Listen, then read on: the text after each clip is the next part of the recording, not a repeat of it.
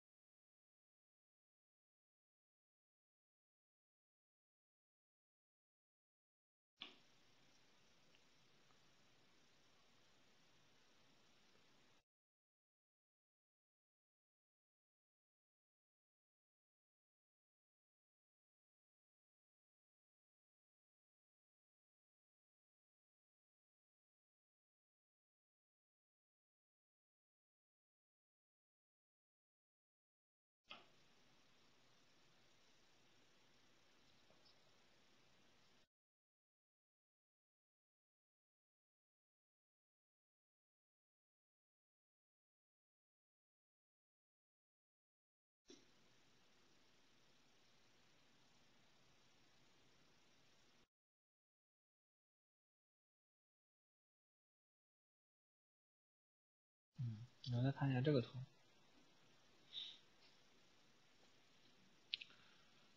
这个图哪些地方可以做优化？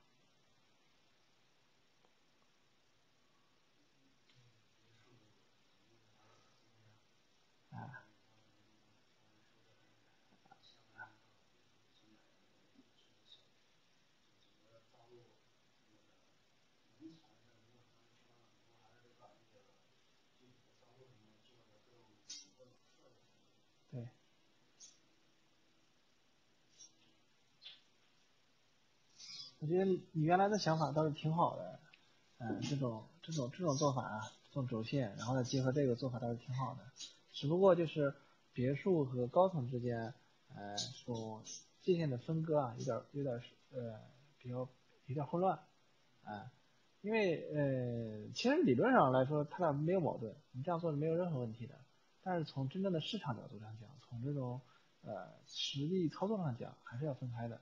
因为买别墅的人和买高层的人档次是不一样的，双方都不想互相住在对方的区里面，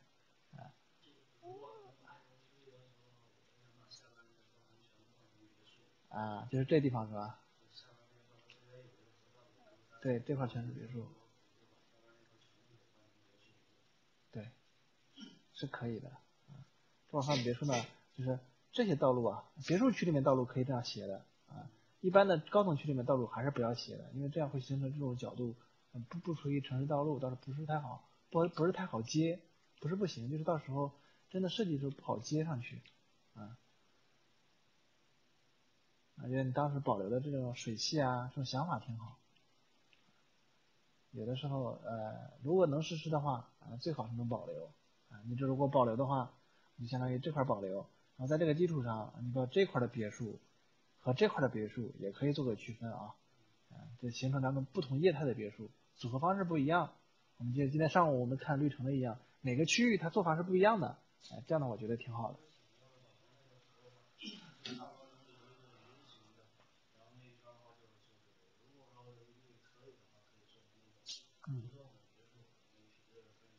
独栋的别墅现在有问题，就是什么不给不批了啊。还能做成类独栋啊，双拼的那种类独栋的是没问题的啊。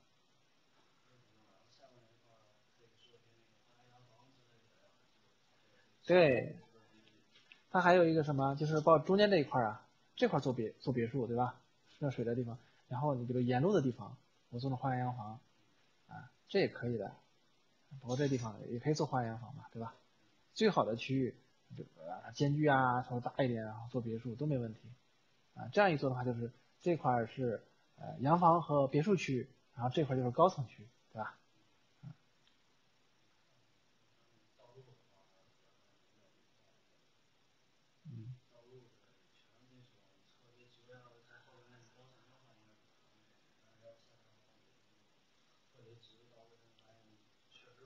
哈哈。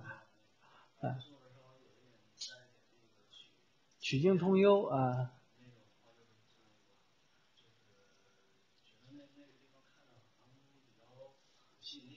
对，啊，太就是让让别墅啊，不要看着太像工业化的产品，就是啪一排一排的，一列列的这样做，啊，还是要优化一下。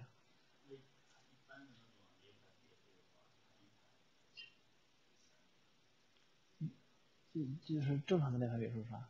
就是我们常常用的那种，八个十个都有。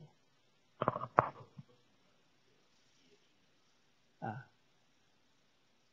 根据不同的组合，但现在这种做法越来越少，还是以围合为主，啊，就像龙湖的作品，我上次给大家讲，中间围了一个夏天庭院，那我可能这是一户，这是一户，这是一户，对吧？南面也是三户，然后这边有一户，这边有一户，哎，可能我就是呃一共是八户，啊，甚至中间两户，就是我做十户。围合一个庭院，相当于一个方块，也是一个方块一个方块的。它的方块和我们上午看到的绿城的方块不一样啊，他们的方块是中间围合庭院的，这个庭院是公共的，大家都能用的，而且都能采光。我因为我每个都要地下室，地下室都上这边开口，光线都很好，这也是一种呃组合方式。其实我给大家讲的这些课里面，不，世界上这种基本上所有的这种布局方式都概括掉了。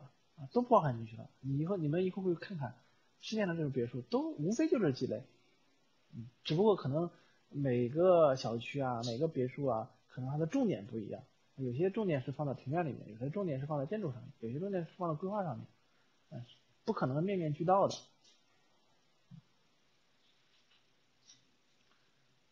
因为这种斜向的斜向的啊，对，还有一个就是你现在布置的地下车库，我看了。你当时布置的其实想法也挺好的啊，对吧？然后你现在反过来看，其实这这样布置是最经济最合理的啊。到时候再加上车库周边预留的一些空间啊，我到时候可以走管线啊，拉到其他地方去啊，我觉得比较好啊。然后这些地方，你因为你现在没排嘛，但是这种想法是没问题的，是要排这种方方正正的，而不是说现在很多公司方案公司给我的方案，我让排一下，他会啪给你撑满。就是能排什么就排什么，那我就问他，你里面到底有多少辆车？啊，他说多少辆多少，也给面积出的。我说这个你做不到的，因为不可能像你这样子的，必须要经过这种基本的排列排出来，比如十七米，十七米一个模块，十七米一个模块，然后排了多少辆，这样方方正正才算真正的完成。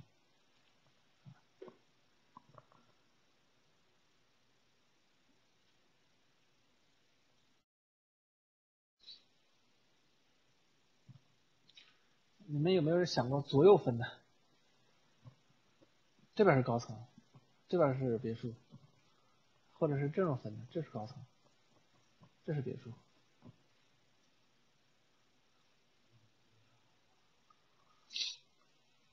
为什么？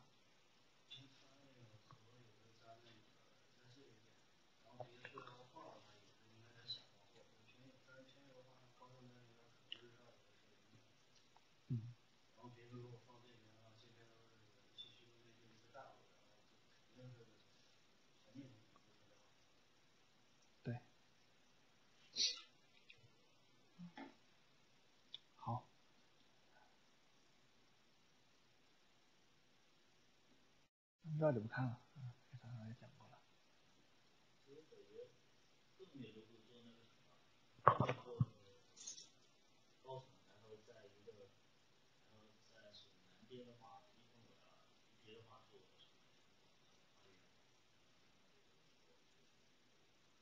啊，也是可以的。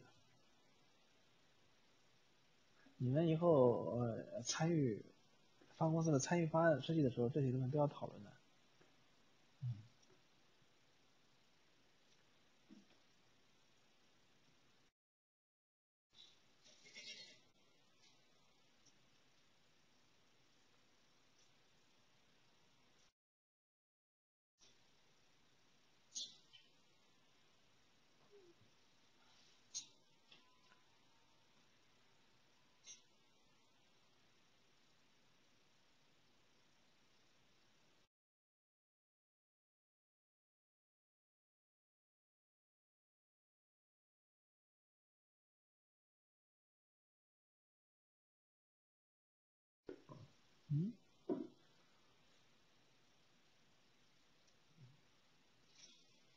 柔呢？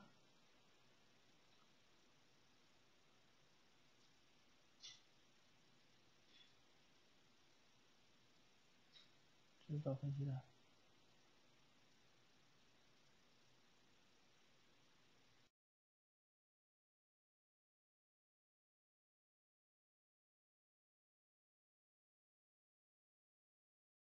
都看不到啊，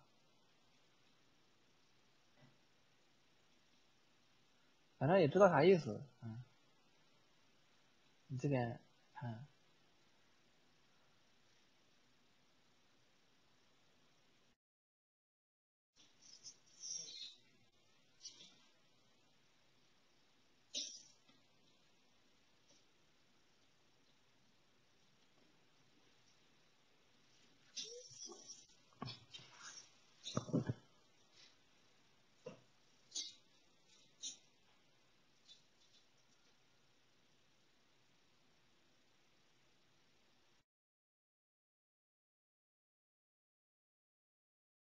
这个有什么可以优化的地方？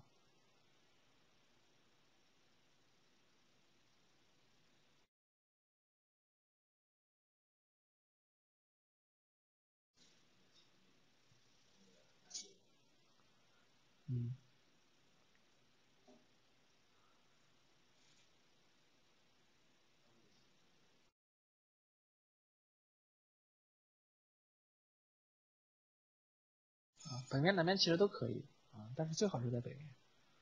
南面嘛，那就大不了要牺牲一个朝南的房间，然后通道才能通过来。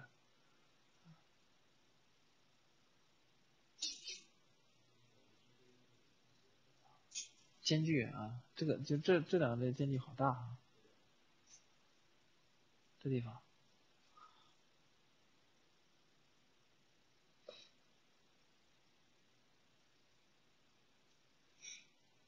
那不需要这么大吧？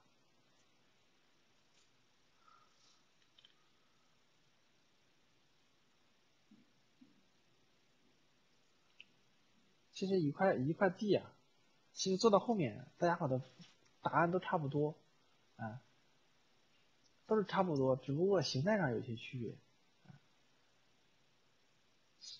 当你跟别人不就是太不一样的话，那可能是你的想法和别人的想法不太一样。如果都是，嗯，就是基本呢，就是符合这种市场规律的，应该是做起来是差不太多的。接个电话。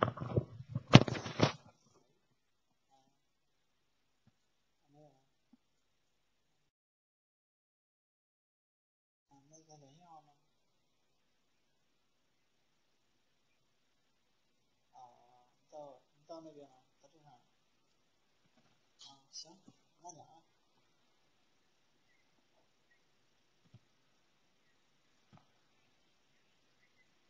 哦，行，行。哦，好。哦，行。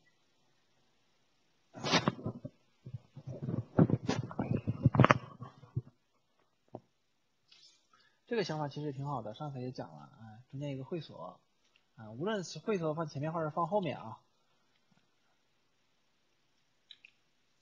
啊，就至少我要保证我前面有一个有一个中心景观，啊，一个道路进来，一个中心景观，我会所放这也没问题啊。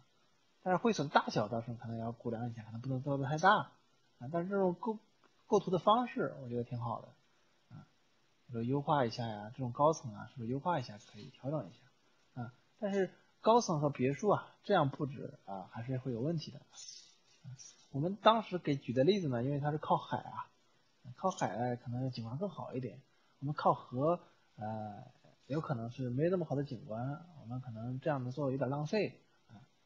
所以说呢，最好的布局方式呢，其实还是南北布局，这是一块，然后南边是一块，啊，然后在这个基础上，就像你这样设计，哎，这块有个中心绿地进来，后边有个会所，然后其他的其他的可能布局，这是一大块别墅，这是一大块别墅。啊，具体的布布布局方式也可以调整啊。你甚至你有些地方容积不够啊，加一些这个区域啊做花园洋房也可以，对吧？多做的花园洋房也可以。这样一做，我觉得也是很有特点的一个一个一个一个呃规划区吧。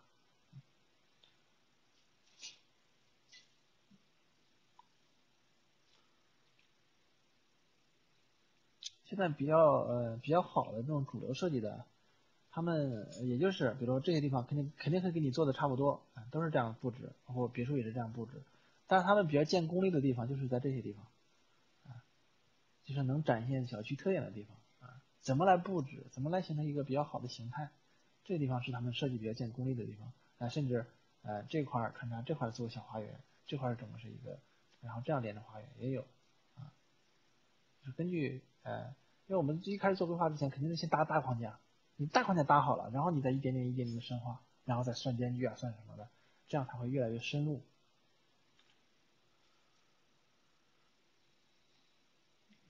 其他人还有什么谈的？有吗？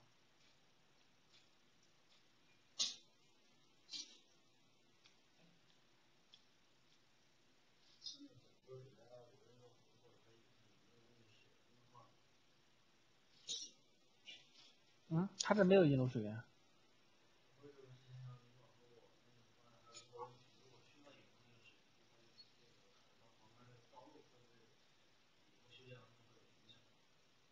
你说城市道路啊？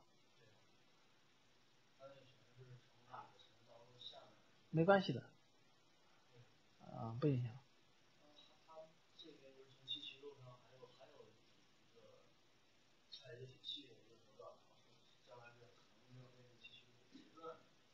那那就没有用了哈，截断了就没有用了。嗯，它那个它其实都可以穿城市道路的，你知道如果想用，它有的涵管啊，可以把它引过来，然后你自己有的地方可以做个小水闸，都可以管理，这个没问题。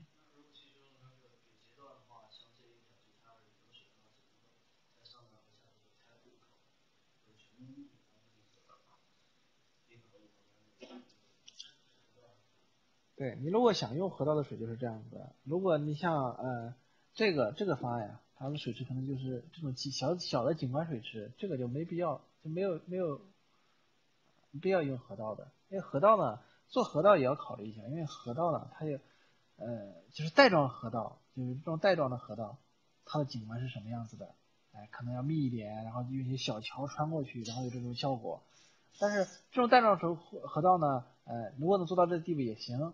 但有的时候呢，我们带状河道，要和这种大面的这种湖结合起来，就是有宽的地方，有窄的地方，这才是一个比较好的一个景观，啊，当然你全是这种带状河道也可以，但是你也要有变化，啊，比如这个地方是有个桥，那我走到这个地方是不是有其他东西啊，小亭子啊，或者怎么来形成这种不同的韵律，不能太太匀质，太匀质的，就是给人的感觉啊，乐趣啊什么都没有意思，啊，这个啊，这个都是可以。可以做的，嗯，当然技术问题，你说河道到底能不能用，我觉得这都可以解决的，啊，这都没问题的，技术上都不存在问题。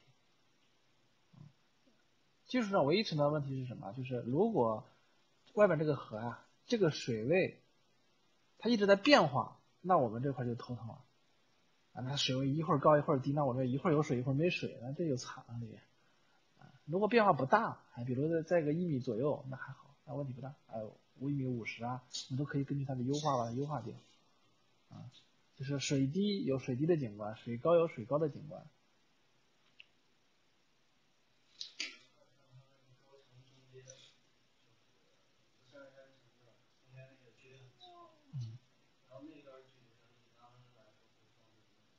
中心景观，中心景，也就是高层区的中心景观，它会它会配上几种，一个是。呃，儿童活动场、老人活动场，再加上比如网球场啊，也有可能这样放。就至少就是要把呃它配套的这种功能先满足了，然后其他地方就可以你随便做，啊，你做做绿化也行，做景观也行，做休息的地方也都可以，就看你怎么设计了。这个没有没有规没有规定的，但是前提就是规划指标里面要求的活动场地你都要有，不能说你。它规定你有网球场啊，不是规定你有多大面积的活动场地，你没有。它一般会规定活动场地是多少，因为这也是个指标，就是人均的活动面积是多少啊。具体你是做网球场啊，做什么啊羽毛球场无所谓的，只要有这个活动场地就可以。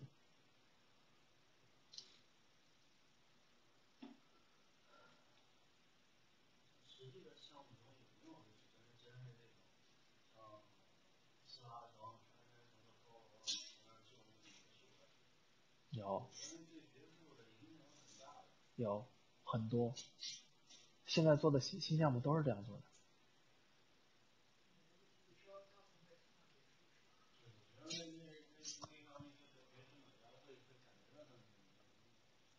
所以说，它这种符合社区的别墅啊，它价格不是那么顶级别墅。你要买顶级别墅，那你上山上去买。它是算城市别墅，城市级的别墅，它当然会比住宅要卖的贵多了，因为它毕竟有自有自己的田，有自己的地。但是你要想达达到，哎呀，很就是自己私密感很强，那就不要在这儿买了。但是就算这样做的，也有很多人去追捧的，啊，就是不同，虽然它有它的缺陷，但是也有很多人去追捧。要这样过来想。啊，景观做的比较好。对，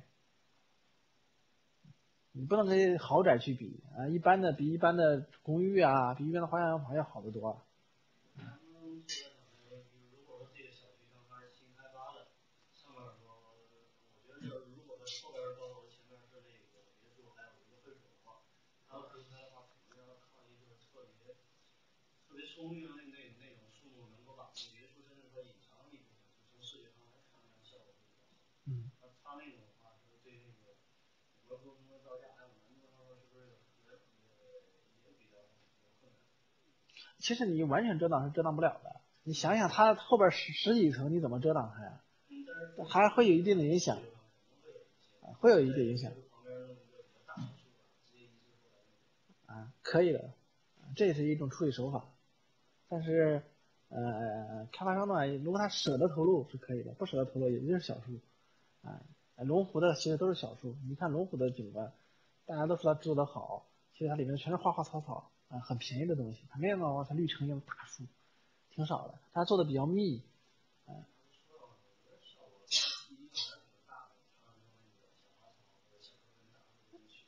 是吧？但是你去看的话，呃，它是另外一种风格，它是婉约型的。但进去以后你会发现，它那种小花呀，组合的像个地毯一样，也挺漂亮。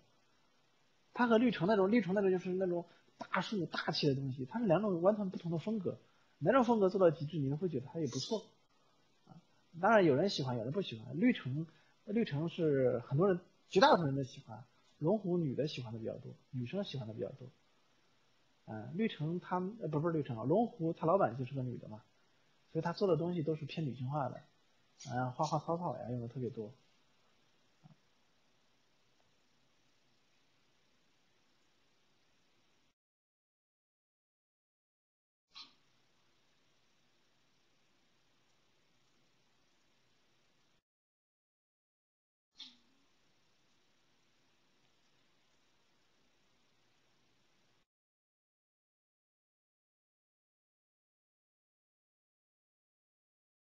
这好大呀，日照都在里面了，对吧？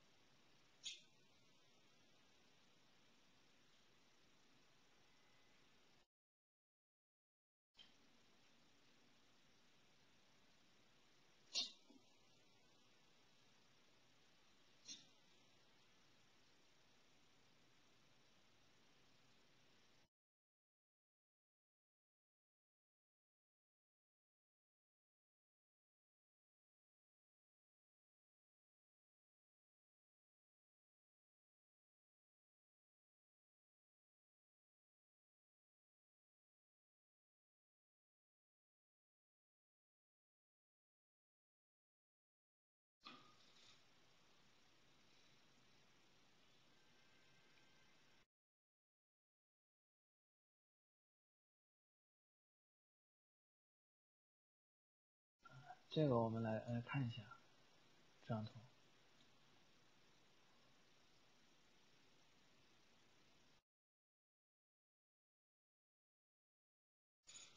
看一下你这边，嗯，怎么优化？因为我当时觉得你这个太追求，一开始太追求平面构图上的东西了，追求这种八卦形态的东西啊，嗯，这个倒没必要的。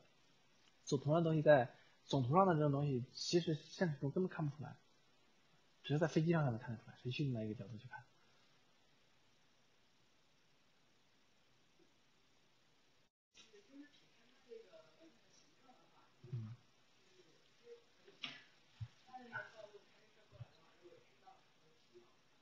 啊，对，这样这这是可以的。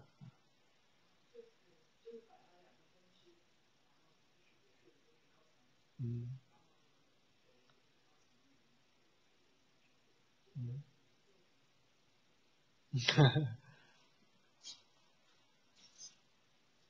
你现在就是经过我们因为这么长时间的一个学习嘛，啊，就是啊，觉得在目前这个阶段怎么样去改？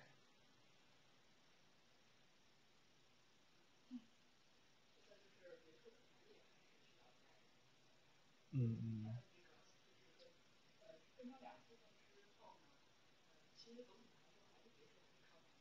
嗯，难，它难的比较多一点啊。对。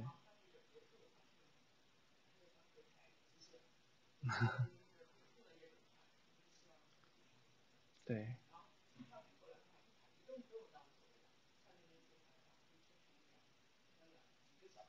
嗯。其实你这个，我觉得你这个其实顺着你在讲的，有一挺好的组合方式。你说你这道路过来，过来以后，你可以形成那种，就是这这种形式的，这种组合，你知道吧？哎，包括这样做的，形成这种组合的这种别墅，双拼呐或者什么的，就这样一组合就很有特色啊。对，这种这种做法其实我觉得挺好的，我这地方也可以做成这种别墅，对吧？都没问题。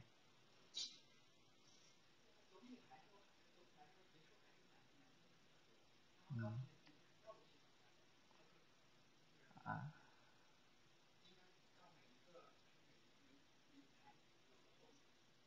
一个是道路系统，还有一个高层啊，这种三个拼到一块的，呃，尽量少用。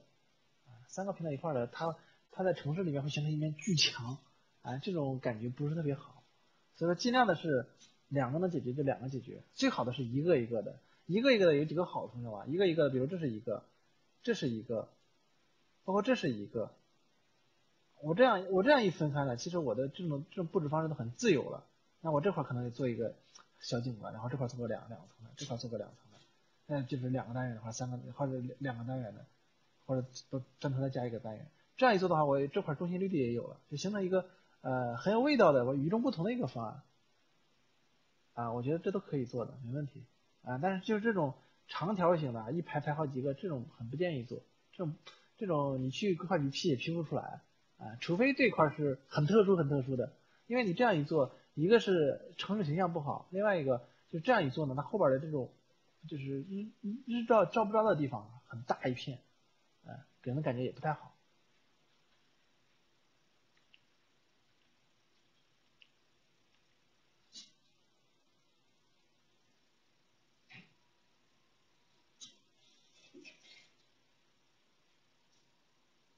但是就是北面的地方，建议还是尽量少放别墅，因为日照会对它影响很大。啊，就算你这块放的很好的别墅，但是也是卖卖别墅的时候也会影响比较大。啊，它不太日照还是不是太充足啊？你尤其是呃，因为是东边过来的嘛，早上中午之前啊，这块的日照都不好，啊，只能到下午这块日照可能才好才能好起来。因为你你是一个主干道是这样做的，嗯，但是真正的你把这种次干道一连起来，这种次干道一连起来，这种道路一连起来，其实你追求的这个形状啊，就完全就不太一样了，可能就就马上就变掉了，啊，就变成其他的形状了，可能这块儿也可以接一个路口出来，然后就形成了一个，嗯，其实这种做法可以做的很有特色，与众不同，啊，做的都是这种曲线型造型组成组成的这种别墅区啊，啊这块也可以做成另外一种形态。都没问题。有的时候是道路系统很重要，因为高层区啊，道路系统因为高层就定到了道路系统，然后但是别墅区呢，道路系统可以定别墅啊，它是一个不同的这种手法，入户的方式也不一样。嗯，好。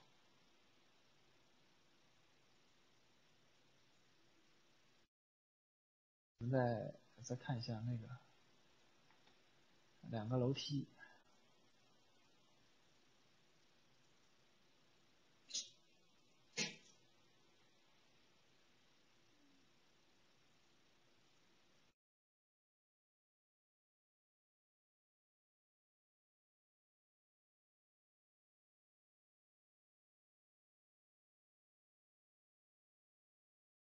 这个是，这是你参，这是你画的吗？这是你画的吗？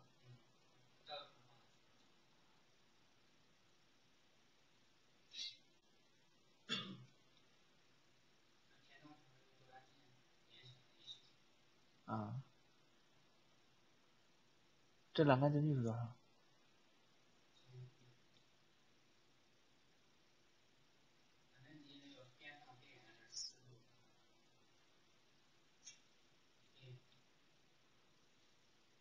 哪个边缘？这个？这个？哪个边缘？这到哪？到这儿？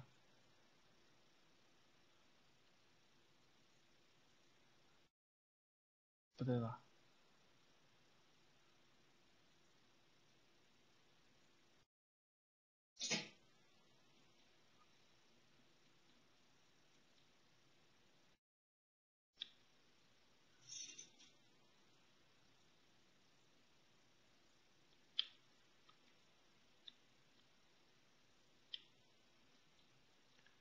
你这是用天秤画的吗？自己画的。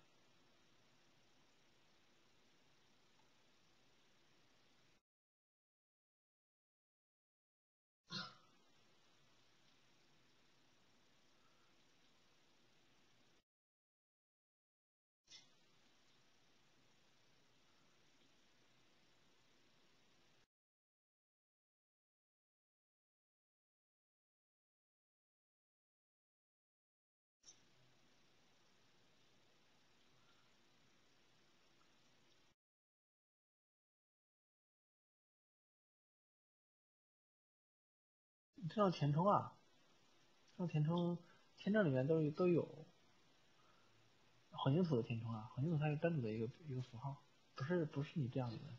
这个填充呢，然后就之前的没找到，然后第二个后面楼梯填充的时候里面也有，啊。是。嗯，就是对面第三行，第三行最后一个。这个不是吗？不是，不用加斜线，在签证里面有一个就是混凝土，它自动都斜线都给你加上去的。啊，但是图块也是一样的。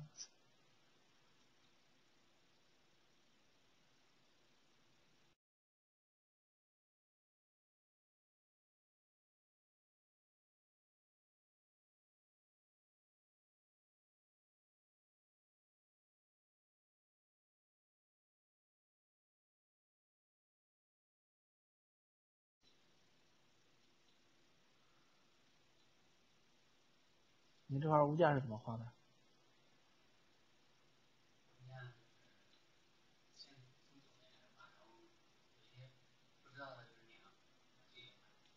哈哈比着那个一点点画的是吧？比着那个例图一点点画的。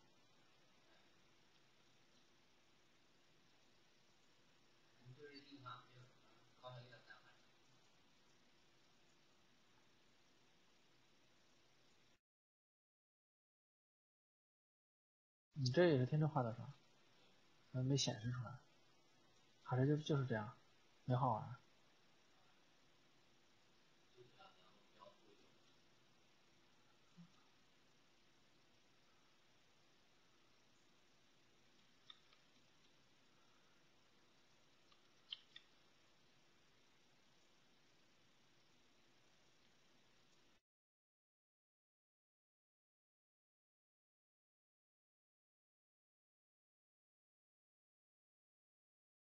这个是什么？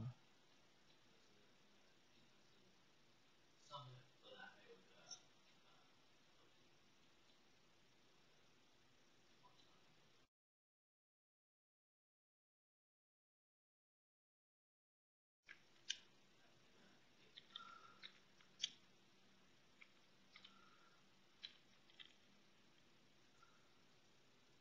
来来六，来六分一。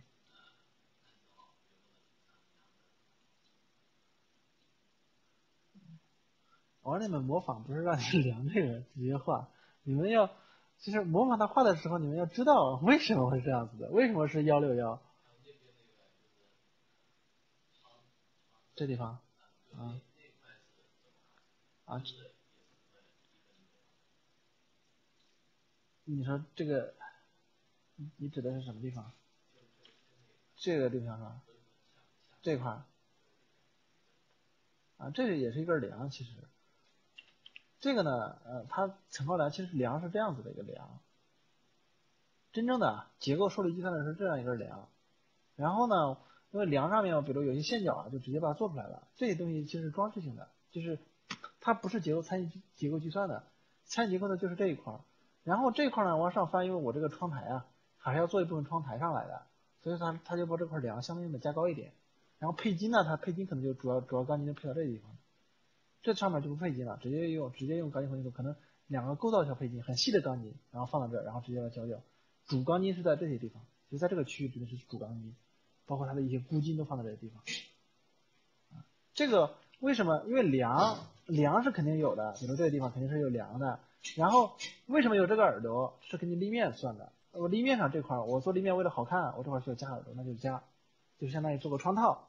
然后上面这个地方呢，也是根据立面需要，我这块需要加的就加上去了，啊，是这样来的，是根据立面的设计来的，啊，不是说呃这个就是整个是一根梁，不是这么概念，啊，那当然你立面如果我做的这么高也可以啊，就是如果我这块做到这么高也行呀，把这个窗做小，这是根据你的立面设计来的来的，因为呃。只要是涉及到外立面的东西，肯定是根据立面设计来的。然后里面这些东西就是你根据你的平面调整做出来的，具体怎么样就怎么样。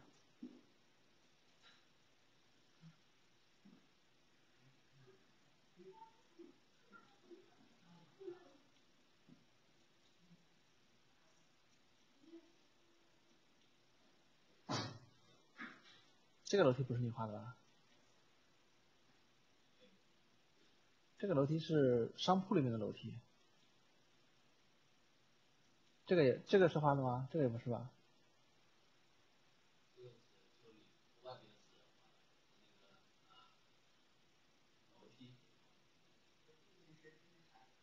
不是，你这个你告诉我这个楼梯是在哪个位置啊？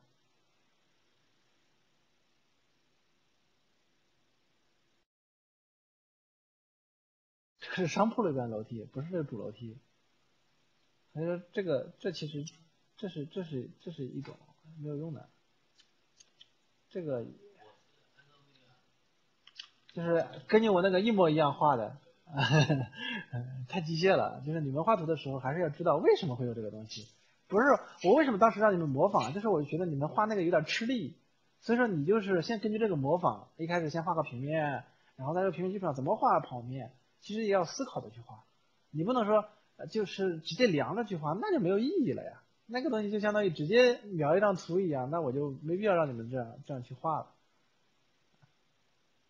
还是就是一开始要把平面画出来，然后这个画旁边的时候，呃，就要反过来对应到这个平面上，哎，是什么样子的，然后一点点画上去，然后哪块不会了，然后反过来看看我给你们例图，哪块有问题了反过来看，而不是说让你那量一个是多少，然后你把它考上来，那量个是多少就弄过来，这没有意义的，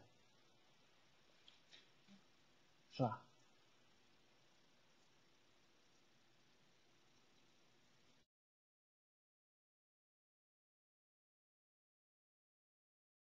好吧，这块儿我觉得还要再加强一点。难归难，但是嗯、做多了就熟了。